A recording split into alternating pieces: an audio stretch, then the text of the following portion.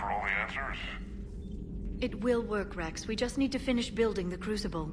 Although I'd be interested to learn how you found out about it. Wasn't that hard. Lucky you keep its location more secret than the fact it exists. I'm glad you think we're doing something right. Yeah. We'll see if Shepard keeps that up. I'll assume you didn't know about this. My good friend wouldn't hide the fact that his people planted a doomsday bomb on my planet, right? Wrex, I was just as much in the dark as you. Honest. That's what I needed to hear. Just making you sweat, Garrus. Wasn't sure you could. You're always so calm. I'd be happy to give Krogan some lessons on relaxing. and we'd be happy to feed you to a thresher maw. Wrex out. Don't let him near the intercom.